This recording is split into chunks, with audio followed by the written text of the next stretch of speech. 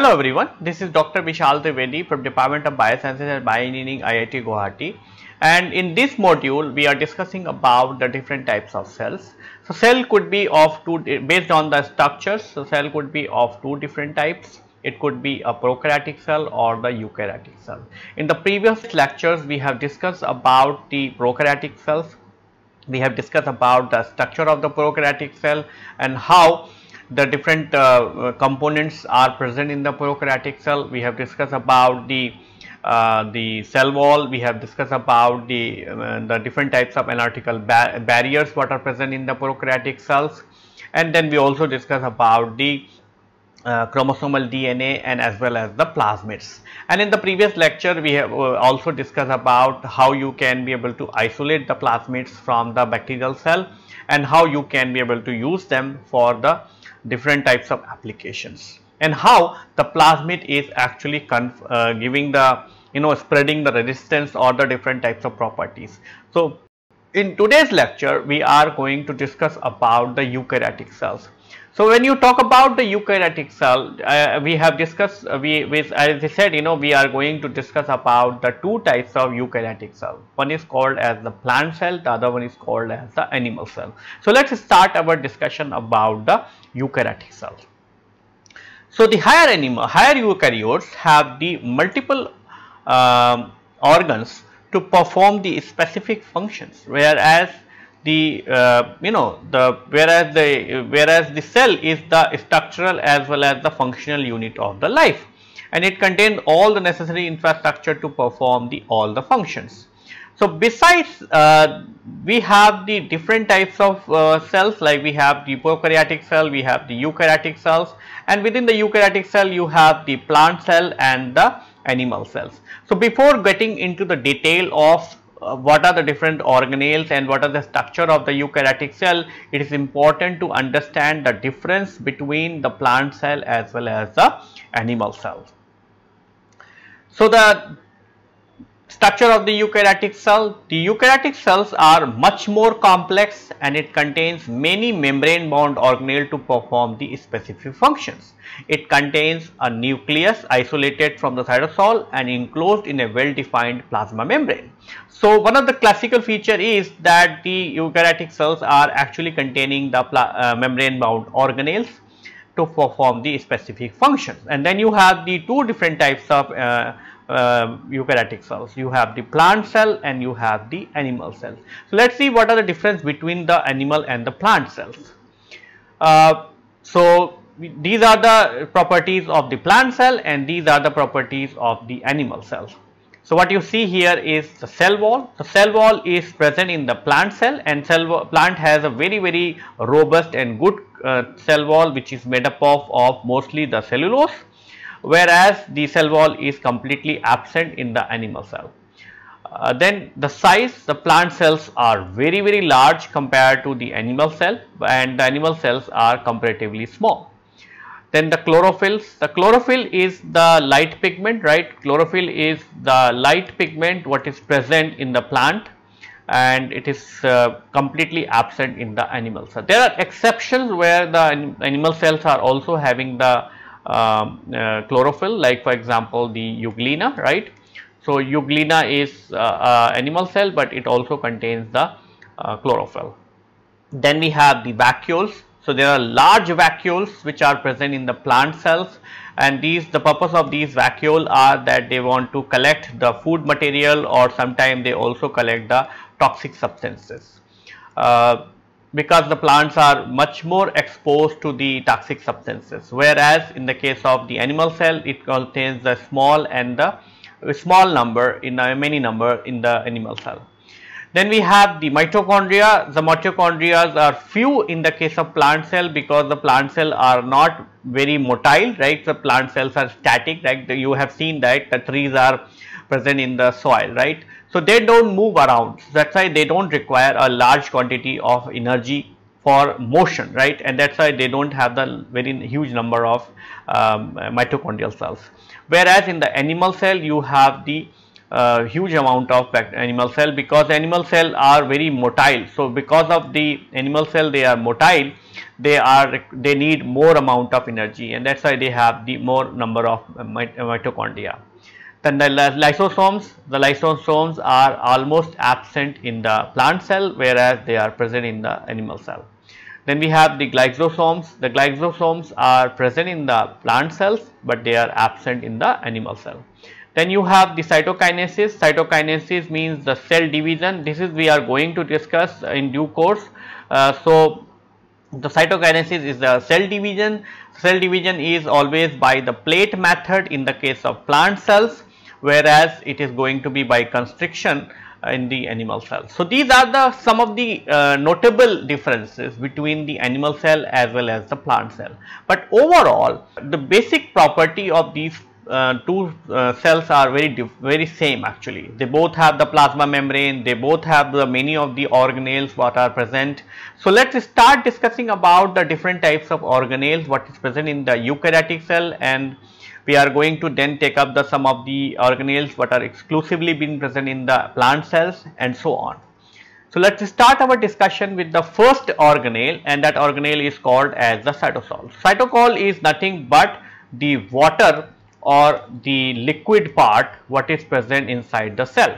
So you see the cell which is there and it has a nucleus in the center and in between whatever you see is actually a called as liquid part whatever you see is called as the cytosol.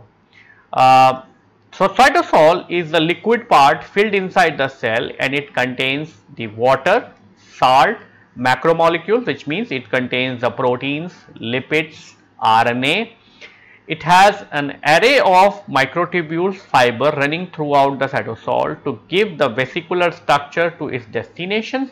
So, within the cytosol you have the different types of microtubules running right. So, these microtubules are actually making the road within the this cytosol and on these roads only the vesicles are moving and that is how they are actually delivering their content just like as you are ordering the material from the Amazon right or Flipkarts and then the, the guys are coming to your place right? but how they are coming? They are coming because there is a road right? There is a road to your home right? And that's how they come using these roads so these roads are made up of of the microtubules which we are going to discuss in our subsequent lecture. And uh, they will use these roads and that's how these vesicles you can imagine these vesicles are the courier guys which are coming to your home and they are actually delivering to your place. And how they are delivering? That is a part of the very very uh, extensive uh, vesicular structure system. And uh, they are actually having a very very well defined vesicular transport system. And vesicular transport system is actually going to help the cells to to deliver the material to their destinations. Besides this, the cytosol exhibits the sol to gel transitions and such transitions regulates the multiple biochemical and cellular processes. So, sol and gel transition is actually making the either the cytosol more thick or more thin and because of that the localized sol and gel transition is actually going to make the uh, uh, the substrates more concentrated or less concentrated and because of that they can be able to enhance or they can be able to change the rate of these reactions very nicely. So, apart from these uh, functions the cytosol has uh, many of these functions. So, cytosol has no well defined functions. It serves as a medium to exchange the material between the different organelles. It play in uh, you know various processes such as it is actually be a process where the signal transduction or the translation is going to take place. So, cytosol has the cellular machinery which is responsible for the translation or translation means the production of the proteins right. So, production of protein uh, is called as the translation and that is happening within the cytosol. Now, one of the thing which people are very oftenly use right or interchangeably they use the term which is called as the cytosol or the cytoplasm. And there is a big difference between the cytosol and the cytoplasm. And it is very important that you should get a clarification. Cytosol is actually the liquid part okay? This is the liquid part okay? Whereas the cytoplasm is actually consist of the cytosol and all other organelles. So, if you take the cell okay it has a nucleus right. So, outside this nucleus whatever you have that is called as the cytoplasm that contains the cytosol and it also contains the different types of organelles. So, that is a very very important to you understand that you should say cytosol when you are talking about the liquid part and you say about the cytoplasm when you are talking about the content what is outside the nucleus. So, let us move on to the next uh, uh, organelles and the next organelle is, is known as the nucleus. So, nucleus is the central processing unit of the cell and it is homologous to the processor in a typical computer. So, since nucleus is also called as the master of the cell because it actually regulates, it actually say, gives the instructions to the cell what it should do actually. So, why it is so? Because the nucleus is containing the genetic material and that genetic material has all the information. It and that genetic material is actually going to say what the cell has to do actually. The so nucleus is a very very well present inside um, double membrane structures right. The liquid which is filled inside the nucleus is called as the nucleoplasm and the nucleoplasm is actually contains the uh, different types of molecules like so it is a viscous liquid which contains the nucleotides and the enzyme to perform the replication and the transcriptions and as well as the DNA damage repair system right. So, the nucleus contains the nucleotides uh, which is required for the replication as well as for the transcription and then it has the replication machinery. Replication machinery means it is actually be going to make the DNA another copy of DNA. So, that will required when the cell is going through with the cell division. Then it contains the genetic material, the DNA in a complex fashion involving the several protein which are called as the histone proteins. So, compared to the bacterial cell, the DNA is present in a complex with the proteins and that these proteins are called as the histone to pack into a nuclear bodies or to the chromosome. So, the chromosome when we say about the chromosome it is a authentic chromosome what is present in the uh, uh, in the eukaryotic cell. The chromatin in the eukaryotic nucleus, so chromatin like the DNA content uh, is present in the two forms either it can be euchromatin or the heterochromatin. So, you can have the the, the, that chromosome which is going to be either be present as the euchromatin or the heterochromatin. So, euchromatin is a part of the chromatin where the DNA is loosely packed and it is transcriptionally active to form the messenger RNA. So, euchromatin is actually active whereas the heterochromatin is non-active or inactive which means the eukaryotic cell has the mechanism so that they can be able to make some portion of their genome active and some portion of their genome inactive.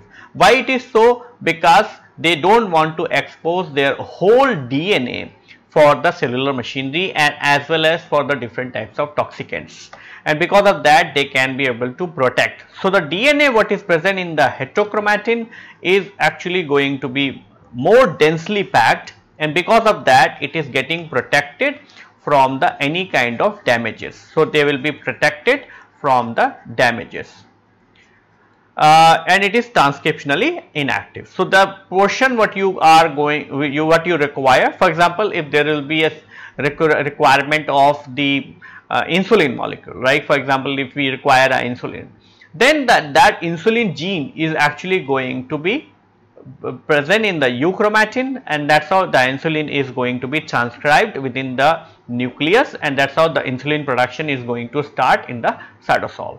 Since the nucleus is present inside this particular double membrane structure, it is actually well protected from the cytosol or well uh, separated from the cytosol by the very very complex structure and that complex structure is called as the uh, nuclear membrane. So, the nucleus in eukaryotes are present in a double layer of membrane known as the nuclear envelope. So, what you see here is this is the nuclear envelope where you have the nuclear pore and this is the only portion through which the molecules can come in or the synthesis synthesized molecule can go out. The outer membrane of the nuclear envelope is continuous with the rough endoplasmic reticulum and has the ribosome attached to it.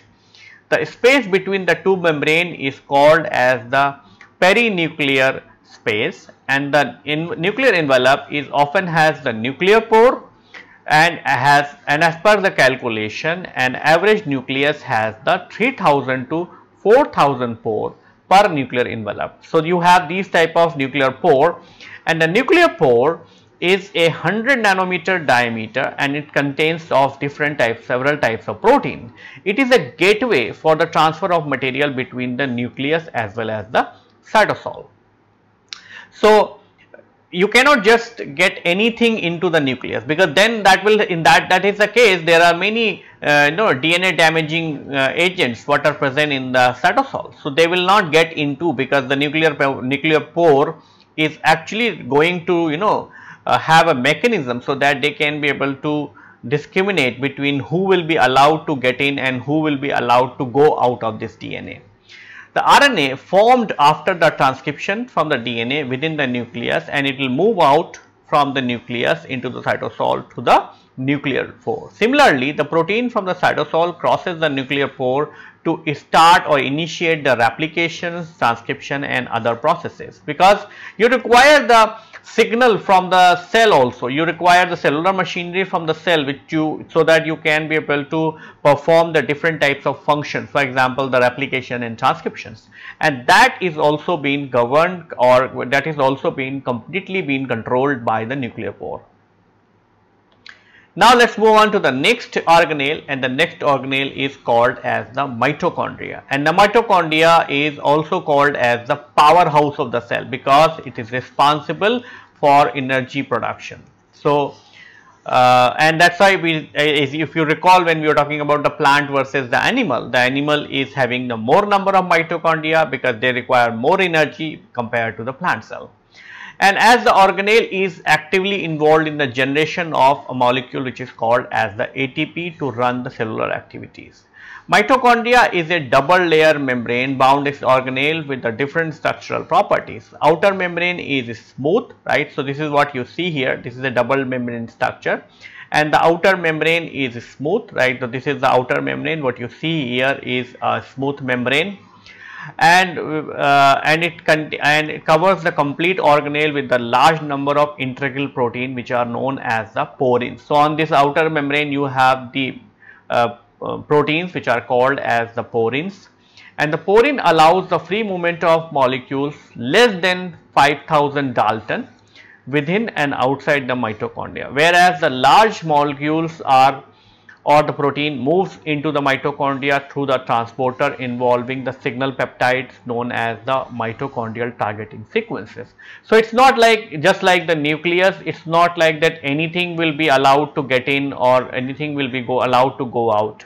There is a small size like if it is a size of 5000 Dalton, that is the molecule which is going to be allowed get in through the porins but if it is uh, bigger than this, right, suppose you have the 50,000 Dalton, then that protein has to be go through with a, well defined me mechanism which means it uh, should have a signal peptide so that and that signal peptide should be of a mitochondrial targeting sequence. So, do not worry about these targeting sequence and all these kind of terminologies because that we are going to discuss.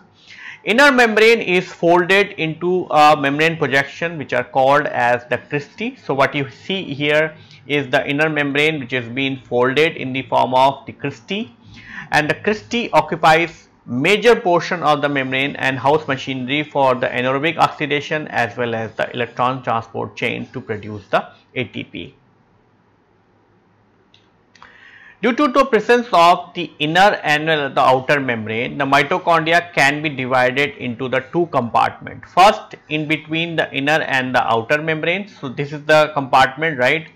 and uh, known as the intermembranous space and the second inside the inner membrane known as the matrix. So, this is the matrix what you see here right this is the matrix. The protein present in the intermembrane space have a role in executing the programmed cell death or the apoptosis which we are going to discuss in a subsequent uh, modules.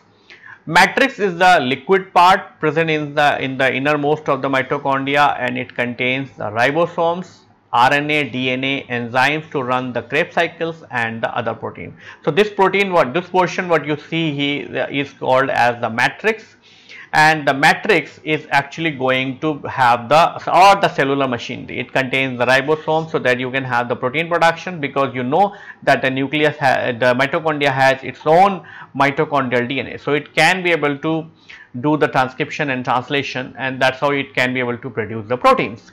Then it also has the RNA DNA and it also has the enzyme for the running the Krebs cycles and all the proteins Mitochondrial DNA is a circular DNA. It has a full machinery to synthesize its own RNA which means it can have the ability to synthesize messenger RNA, ribosomal RNA and as well as the transfer RNA and the proteins. A number of differences exist between the mitochondrial DNA and the difference and the DNA what is present in the nucleus. One of the classical difference is that the mitochondrial DNA does not contain the introns. So, it does not contain the intron compared to the DNA what is present in the nucleus.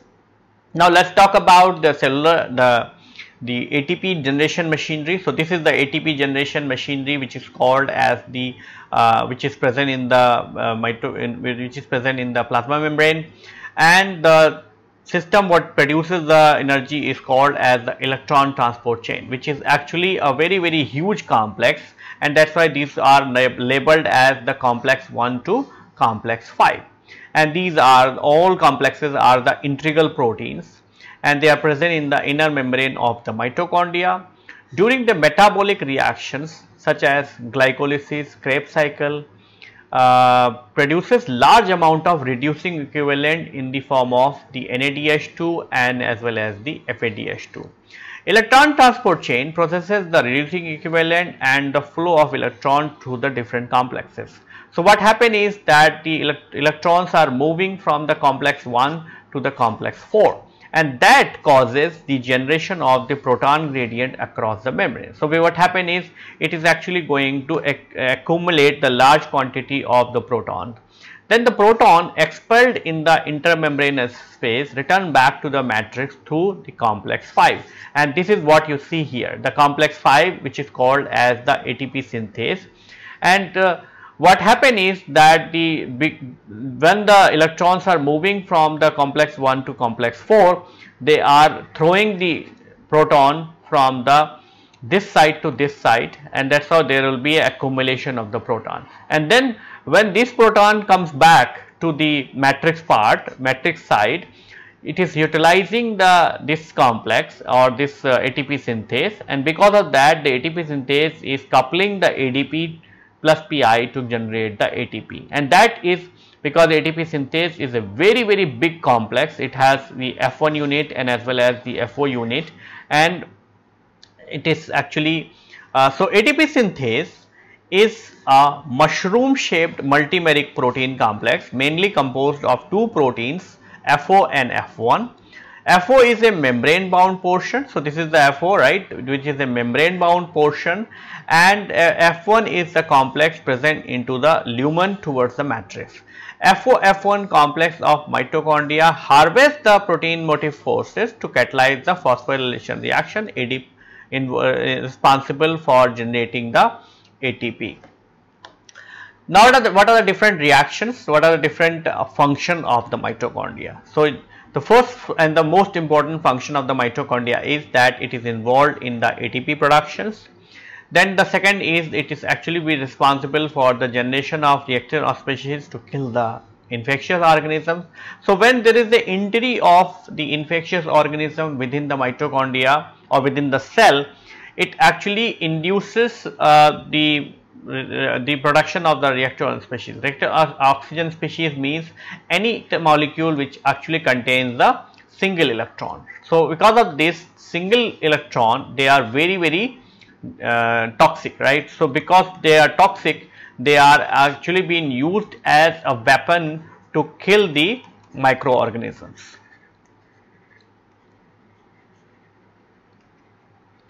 Then the mitochondria is used to track the tree of a family. You know that the mitochondria, if if you see the production of or the how the sexual reproduction occurs, right? The sexual during the sexual reproduction, the uh, you have the two species, right? You have the sperm, right, and you have the ovum ovum is actually a complete cell. It contains all other organelles. So, it contains the mitochondria also. Whereas, the sperm is only containing all other organelles, but it only contains the DNA. So, when there is a fusion of the sperm and ovum, it takes the DNA part from the sperm whereas it contains all other organelles from the ovum. So, because of that when the zygote is being developed, it actually contains the mitochondria right and that mitochondria is from the mother side okay that mitochondria remain constant because even if this particular individual will again go, go for the sexual reproduction that mitochondria is actually going to carry forward and that is why you can be able to use the mitochondria to track the family tree. Then the mitochondria is also having a role in the programmed cell death or the apoptosis. So, apoptosis is what we are going to discuss in the subsequent uh, modules, but I have given a very short write up so that it will actually help you to understand what is apoptosis. So, apoptosis is a programmed cell death involving the series of events involving cellular uh, metalloprotease known as caspases in an adverse event of exposure of the cell to the cytotoxic agent or to the environmental conditions. It activates the cell surface signaling to activate the cytosolic proteases. In addition, it disturbs the mitochondrial membrane potential to cause the release of a protein which is called as the cytochrome C. As you remember right when we are talking about the transport of material within the cytosol and outside we said that the porin is only allowing the 5000 500 5000 K Dalton proteins right but if there will be a membrane uh, potential uh, problems right if there will be a drop in the potential then that will allow the leakage of the uh, proteinaceous substances from the mitochondria and one of such protein is called as the cytochrome C. And once the cytochrome C is going to be released from the mitochondria, it is actually going to activate the different types of DNases like and that is how the DNAs are actually going to destroy the DNA what is present inside the nucleus and ultimately it is going to destroy that particular cell. And this is actually a very very programmed death and that is why this is called as the apoptosis. Now let us uh, understand the first process how the mitochondria is actually synthesizing the ATP. So to understand and to explain this process the people have, have uh, uh, pushed forward a theory which is called as the chemiosmotic hypothesis. So what it says is that the F1 particle so you remember right it has two particle one is FO particle other one is F1 particle. FO is the integral membrane protein which is only responsible for holding the F1 and it also gives the path for the protons to enter right. Whereas the F1 is actually a multimeric protein complex and it also it contains the three different proteins it contains a protein which is called alpha subunit, it contains the beta subunit and it contains a gamma subunit. So, this is the gamma subunit what is present in the center and the function of the gamma subunit is that it actually only transfers the complexes from the alpha to beta. So, what you see here is that these alpha and beta proteins are or the subunits could be present in two different conformations either it could be present in the loose binding conformations or the tight binding conformations. So, when they are present in the tight bind conformations they will bind that particular molecule in very tightly. So, what will happen in the beginning? In the beginning the ADP and the PI is actually going to come and bind to the loose binding side. So, once they will bind to the loose binding side the gamma subunit is actually going to take these molecules and put it into the another subunit and once they will reach to another subunit the ADP and PI are actually going to mixed with each other and that is how they are actually going to form the ATP. As soon as it forms the ATP, it will again be flipped to another subunit and that subunit is open complexes and that is how it is actually going to uh, you know it is going to release the ADP and then it is actually going to take up the new molecules of ADP and PI. So, this this cyclic event is going to continue for many rounds and that is how it is actually going to keep giving you the ATP synthesis. So, I have requested uh, uh, one of the professor in MRC and uh, based on my request I think he has shared a movie which actually explains these processes very nicely. So, uh, Professor Walker is, uh, I, I, we, we, should be very grateful to him that he has shared this uh, very good animated uh, schemes. So, in this scheme uh, the, the, the, they have shown how the ATP synthase is actually synthesizing the ATP utilizing the different types of complexes. So, what you see here in this uh, movie that this cyan color portion is actually the FO particle and all these what you see here is F1 particle. This is what you see is the gamma chain whereas the this blue yellow is the alpha chain and this is the beta chain. So, what when you, you will see that when the it is actually utilizing the uh, proton motive force it is actually rotating and when it is rotating it is actually accepting the ADP and PI which is a in the loose binding site and once the loose binding site is rotating it is converting into a tight binding site and that is how the ATP and PI are mixed together and it generates the ATP. Again there is a rotation and because of that the it is getting converted into the loose binding site and that is how the ATP which is formed in the previous cycle is going to be released. So this is a very very uh, you know good movie to uh, understand the whole process and that's how you will be able to you know appreciate how these events are actually been happening. So what you see here is actually it is showing how the ADP and PI are combining with each other. So you see these are these are different bonds through which the ADP is combining with the PI and that's how the ATP is formed and that's how it is actually being released from the uh, system.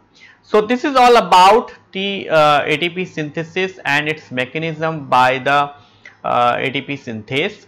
And what we have discussed so far, we have discussed about the eukaryotic cell and within the eukaryotic cell we have discussed about the, dif uh, the differences of the eukaryotic cell with the plant cells and uh, then we have discussed about uh, the nucleus, we have discussed about the cytosol and we have also discussed about the mitochondria.